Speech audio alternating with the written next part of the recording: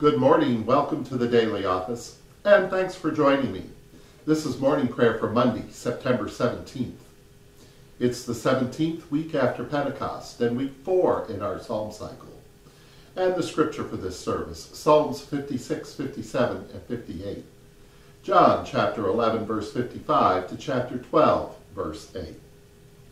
And join me now in singing the first verse of Psalm 100 by Isaac Watts. All people round the earth rejoice, to God most high our sovereign King. Serve God with cheerful heart and voice. With all your tongues God's glory sing.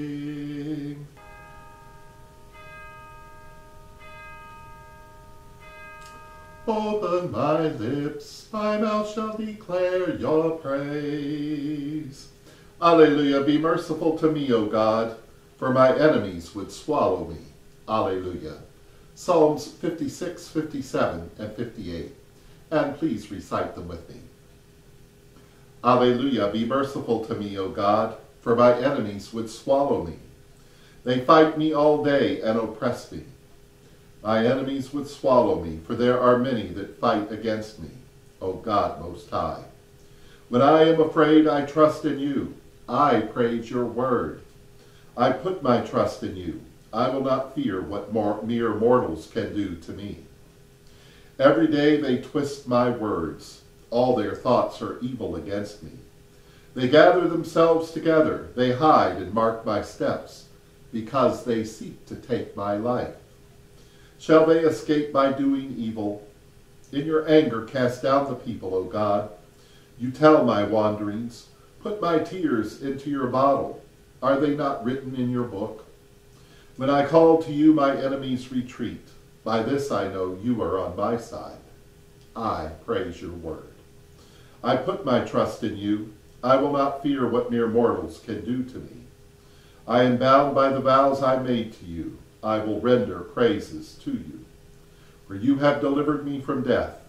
Deliver my feet from falling, that I may walk before you in the light of the living. Alleluia, be merciful to me, O God, be merciful, for my soul trusts in you. In the shadow of your wings I take refuge until troubles pass by. I cry to you, God Most High, to you that performs all things for me. You will send from heaven and save me from the reproach of them that would swallow me. Send forth your mercy and your truth. I lie among lions who would devour Saul, whose teeth are spears and arrows, and their tongues sharp swords. Be exalted, O God, above the heavens. Let your glory be above all the earth. They prepared a net to snare me. My soul is bowed down. They have dug a pit in my path but they have fallen into it themselves. My heart is fixed, O God. I sing and give praise. Awake, my glory, awake, psaltery and harp. I myself will wake the dawn. I praise you, O God, among the peoples. I sing to you among the nations. For your mercy is great and reaches the heavens, and your truth to the clouds. Be exalted, O God, above the heavens. Let your glory be above all the earth. Alleluia, O powerful ones, do you speak righteousness? Do you judge with equity? No, in your hearts you devise evil. You deal out violence to the earth. The wicked are estranged from the womb. They go astray as soon as they are born, speaking lies. Their poison is like the poison of a serpent. They are like the deaf adder that stops up her ears, which will not listen to the charmer's voice, no matter how skillfully he charms. Break their teeth, O God. Break out the great teeth of the young lions.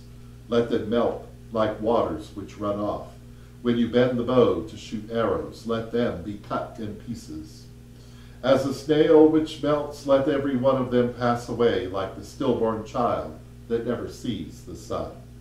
Before they can put out thorns, take them away with the whirlwind.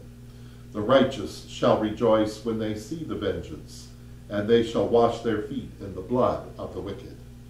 And they will say, Truly there is a reward for the righteous. Truly our God judges the earth. Glory to you, source of all being, eternal Word and Holy Spirit, as in the beginning, so now and forever. Amen. Alleluia. Alleluia. Be merciful to me, O God, for my enemies would swallow me. Alleluia. A reading from the Holy Gospel according to John, chapter 11, beginning at verse 55. Now the Passover of the Jews was near, and many went up from the country to Jerusalem before the Passover to purify themselves. They were looking for Jesus and were asking one another as they stood in the temple, What? What do you think? Surely he will not come to the festival, will he? Now the chief priests and the Pharisees had given orders that anyone who knew where Jesus was should let them know so that they might arrest him. Six days before the Passover, Jesus came to Bethany, the home of Lazarus, whom he had raised from the dead. There they gave a dinner for him. Martha served, and Lazarus was one of those at the table with him. Mary took a pound of costly perfume made of pure nard, anointed Jesus' feet and wiped them on her hair. The house was filled with the fragrance of the perfume. But Judas Iscariot, one of his disciples, the one who was about to betray him, said, Why was this perfume not sold for 300 denarii and the money given to the poor? He said this not because he cared about the poor, but because he was a thief. He kept the common purse, and he used to steal what was put into it. And Jesus said, Leave her alone. She bought it so that she might keep it for the day of my burial. You always have the poor with you, but you do not always have me. Here ends the lesson. And now, in the words our Savior taught us, we're bold to say, our beloved which art in heaven, holy is your name. Your kingdom come, your will be done on earth as it is in heaven. Give us this day our daily bread, forgive us as we forgive others. Lead us not into temptation, but deliver us from evil. For the kingdom, the power, and the glory are yours, now and forever. Let us pray. Be merciful to us, O tender God, for we place our trust in you, and will not fear those who oppress us. In Jesus' name we pray. Amen.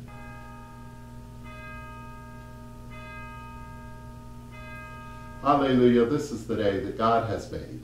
Let us rejoice and be glad in it. Alleluia. And glory to God, whose power working in us can do infinitely more than we can ask or imagine. Glory to God from generation to generation in the church and in Christ Jesus, now and forever. Amen. Alleluia.